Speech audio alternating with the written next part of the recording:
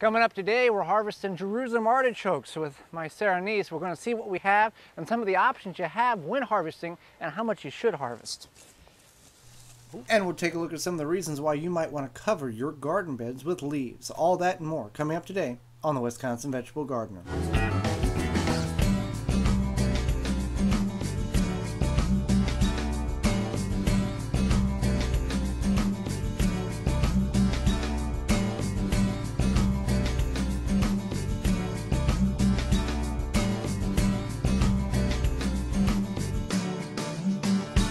Wisconsin Vegetable Gardener is sponsored in part by for all your non-GMO, organic, and heirloom vegetable, flowers, and herb seeds. Visit dollarseed.com. Hsu Growing Supply, located in Wausau, Wisconsin, focusing on certified leaf compost, an excellent amendment for poor soil, retains moisture and adds nutrients, which equals less watering.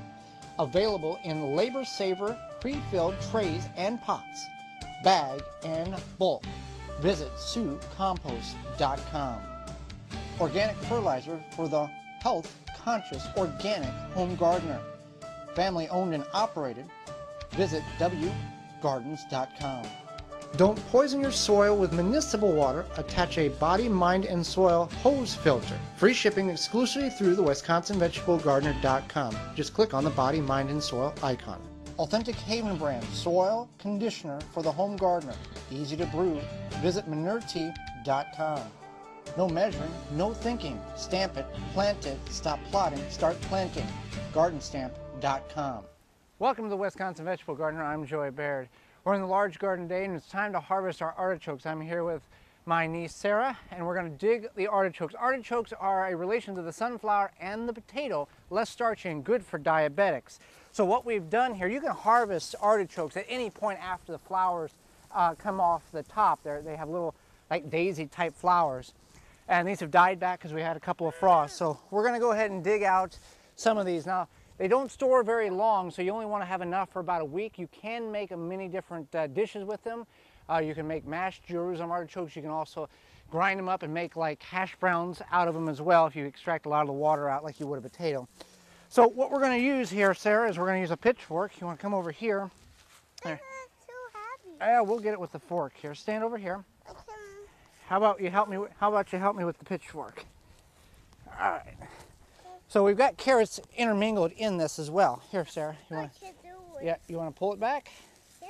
All right. Here we go. Ready? One, two, three. Pull it back. Oh, we got carrots. There's a carrot there. Here, ready? Let's pull this out here. Ready? Help me pull this out. All right. That's a. Now this row here wasn't supposed to be anything. I'd sifted the soil and we were going to plant carrots and we did plant carrots, but there were obviously some roots in the bottom here. That's what an artichoke looks like.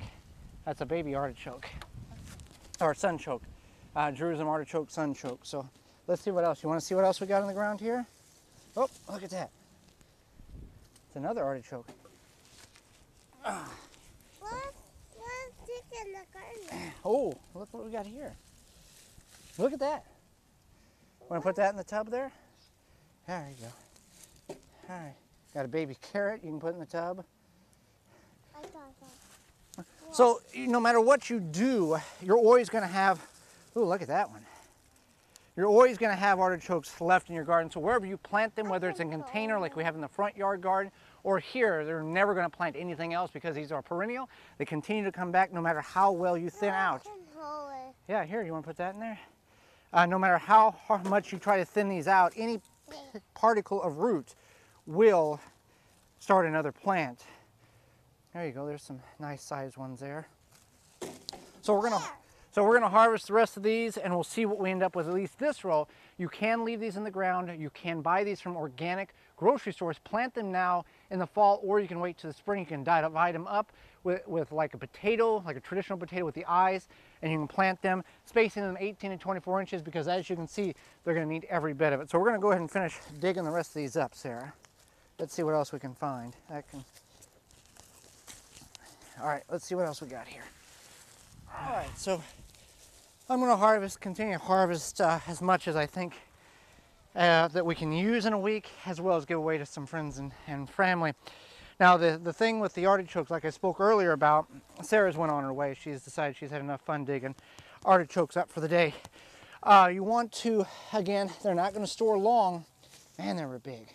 They're not going to store long in um, just out like this. Now different people will tell you if you're going to store them over winter type of situation, take a five gallon bucket, put about two or three inches of soil in it, layer these in, soil on top, so it, it mimics that these are in the ground. Put them in a cool place like a, a garage, uh, unheated garage or an unheated basement uh, where it's dark, and that will uh, slow down the, the decomposing process and they'll keep longer. Now that's something that uh, we have tried with, uh, well, we didn't really store them in the basement, so that was part of the issue. But they did keep longer when mimicked in that scenario. You can keep them in an airtight bag in your refrigerator for about a week before they really start going bad. Again, you don't have to cook these. That's the neat thing about them. There's wild Jerusalem artichokes as well as cultivated. And if you don't know what you're looking for, you could be on a property of a homestead and have a lot of these growing and you just need to look, you know, dig them up and see what you have. If it mimics what a Jerusalem artichoke looks like, and you can find those images online on any search engine. So if you would like to grow Jerusalem artichokes, best you know, most seed companies will provide the tubers in the spring. And again, you never have to plant these again. These are perennial, they'll keep coming back. Uh, honestly, from that row back there, that, that one, all that we've never harvested. We've just had so much over the last two years. That's just natural regrowing of the tubers that were in the ground for the previous, uh, from last year and the year before that. We've just never made it over that far to harvest them. So they'll keep coming back. And from what I thought would be, they would come back smaller and smaller. But from my investigation of digging around here, they're just coming back bigger and bigger. So Jerusalem artichokes, uh, you can grow them in a container as well as ground. Less starchy, good for you. You don't have to cook them. Also, you can make some interesting dishes with them. There's no better resource to use in your garden than a free resource, and that's leaves. There's so many great benefits that leaves can do for your garden. One being we've put raised or we put fences around certain raised berms or makeshift raised beds based on what your terminology of a raised berm is. Raised berm, permanent grow space, and then distinct walk paths so there's no compression from walking on it we put these over certain areas where we've seen a great decrease in nutrients in the soil, and this will increase the nutrients, even though it won't totally break down, it will greatly help it. Two, even if you don't do this and you have the opportunity to still get and gather leaves, whether from neighbors or from your own yard, do so and store them in a location to where you can use them in the spring.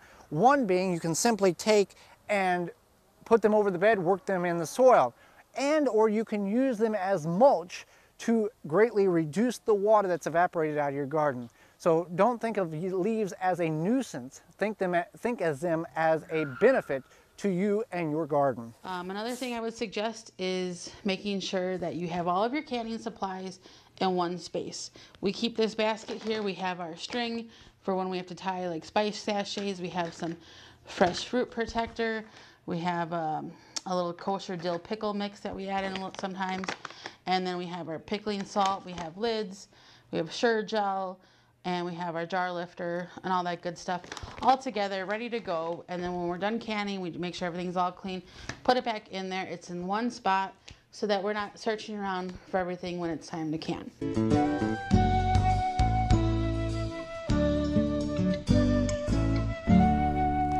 Going to put some leaves on the tops of our raised berms. Now we've never done this before. For whatever reason we didn't. But we're doing it this year for a couple of different reasons. Now we've mulched with our mulcher, our leaf vacuum. If you don't have one, a lawnmower will do fine.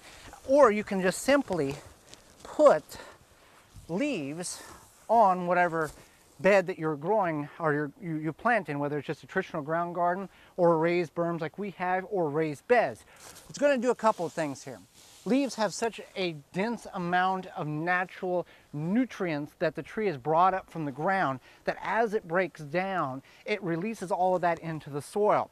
So we've got large beds here and here of compost, of yard scraps, of leaves, because we found that those two beds are kale bed as well as our green bean cabbage bed was lacking a lot of nutrients. So that's why those beds are built up like they are with the cage around.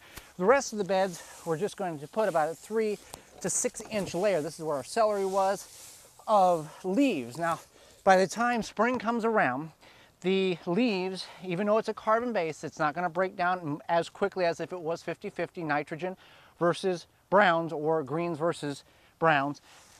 It will still reduce in size by about 50%. Then we will come in in the spring and just flip this soil over and incorporating the leaves into the, into the, in the, native soil. The reason why, from a non, for, I'm not a scientist, but this is what I'm thinking, in addition to doing this will help the soil because it will insulate the soil a little bit more than if it was just open to the natural elements, which will bring worms into the areas where there's a lot of leaves. Worms can sense warmth in the soil, so they're gonna congregate in those areas, feeding on the organic material, as well as releasing worm castings, which will help the soil in its native state and it'll build a lot of nutrients in the soil as well as for no other reason we're doing this so it can simply add more organic material to the beds which in turn will help the vegetables that we plant in these beds and throughout the rest of the garden grow much better next year. Thanks for watching. Join us again next time for more organic gardening and food preserving. I'm Joey Baird and this has been the Wisconsin Vegetable Gardener. For more information, please visit thewisconsinvegetablegardener.com.